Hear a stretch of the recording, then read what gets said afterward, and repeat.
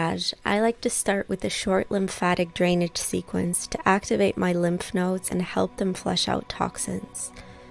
These massage movements should affect only the skin, so use gentle pressure and don't press too hard to the point where you feel the muscles.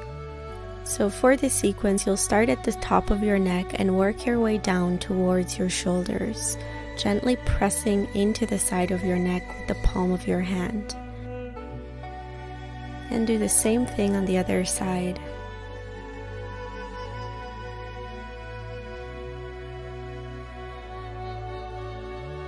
Next, move to your collarbones, gently pressing into the area just above your collarbones, moving from the center and then moving your way outwards towards your shoulders.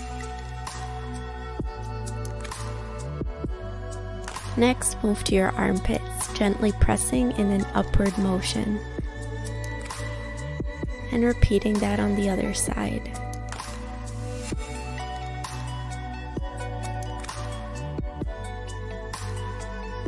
Okay, now moving on to the actual breast massage techniques.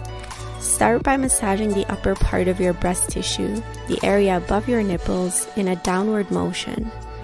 Make sure to use enough oil to make this feel sensual and pleasurable. Next, move on to your bra line, the area right underneath your breast. Massage out any tension or knots. This area can be especially tense if you wear wire bras on a daily basis. So if that's you, spend some extra time here. Next, moving on to some bigger circles. Massaging your breast with this circular motion.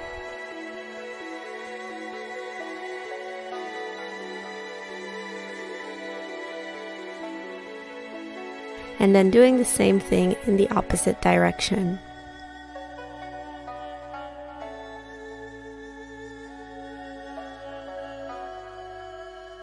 Next, pulling the breasts away towards the sides and then pressing them back into each other towards the middle.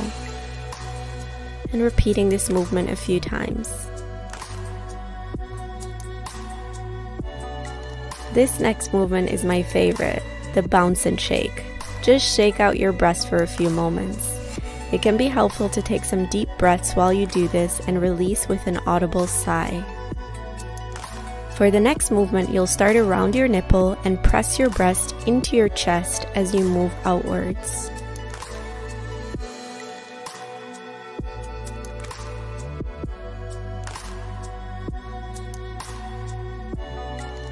Then doing the exact opposite starting away from your nipple and gently pulling the breast away from your chest.